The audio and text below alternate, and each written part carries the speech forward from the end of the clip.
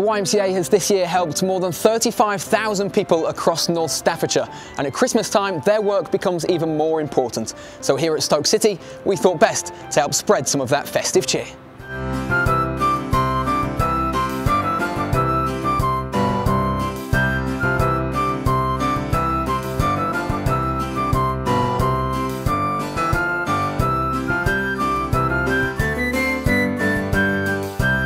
YMCA has been around 175 years, so we just keep growing, don't we, and keep going. We've got about 200 units of accommodation across the city. We've expanded, we're buying terraces for young workers. We've got 62% of the accommodated kids working. Because actually, what do young people want? They want a job and they want some safe accommodation so they can afford to go Stoke on Saturday, don't they? And then we do lots of community based work. So today and there, we've got people from our community projects up in Chell Heath and Fegg Hayes and Little Chell. Football players, I think, have got to remain heroes to their young people because they are.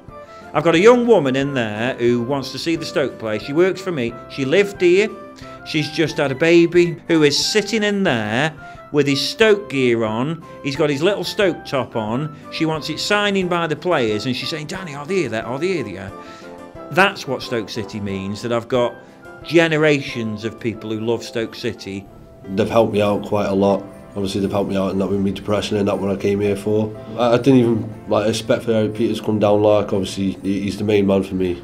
Obviously when I when I used to do like security and that at Stoke for AMS security, obviously he was the only one that, all of us were talking about before we even like started getting on the doors or the gates or obviously all the all the people in that that were coming in and that they were saying like have you seen him yeah I was like yeah, yeah he's, he's coming on and that I it first come round when I was 15 I moved in come from a rough estate in trouble for many years and didn't really find my way here and then I'm back. Yeah. I volunteer day in day out in the kitchens making the cakes, preparing food. I, I did take part in the football but I dropped out due to mental health and started focusing on myself and where I want to go in my future.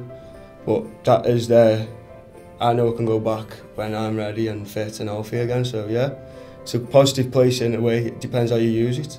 We've spoke to a lot of people. Um, we've also had a, a pool a pool game, which I and How Eric Pe well me and Eric Peters lost to me and Cuco Martina. Yeah, which I'm not happy with. Representing the club um, is always an honour uh, as a Stoke fan as well, um, and I think that especially alongside the men as well, it's been really important for us to join up together as one club.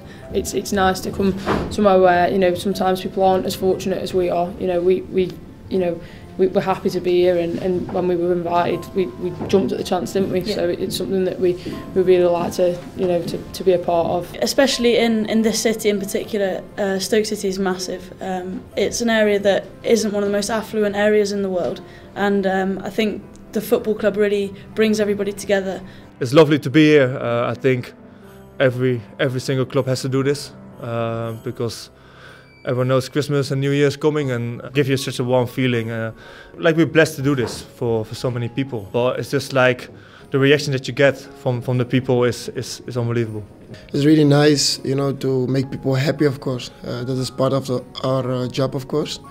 And um, if we can do that, it's uh, really happy, of course, for, uh, for everybody. You go to do things like this, it does put a perspective on everything. So um, you've got to be extremely grateful for, for what you have, definitely. Um, but you know, this place is doing wonders in, within the community, and it's fantastic to see so so many smiling faces and great people. It uh, does put a smile on your face in that way when you walk in, and everyone being so happy and, and um, enjoying Christmas. So, from all at Stoke City, have a very Merry Christmas and a Happy New Year. Hmm.